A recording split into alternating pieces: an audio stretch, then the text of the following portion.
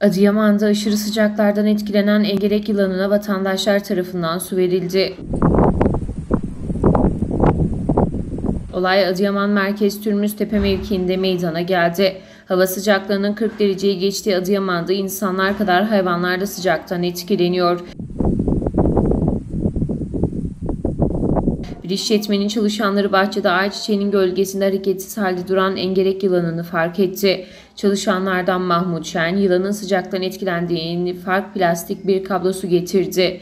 Yılanı kuyruğundan yakalayarak ve su içmeye çalışan işçinin korkusuz tavrı dikkatlerden kaçmadı. Yarım metreyi geçen engerek yılanına su içirmek için uzun uğraşlar veren işçi daha sonra yılanın üzerine su dökerek serinlemesini sağladı.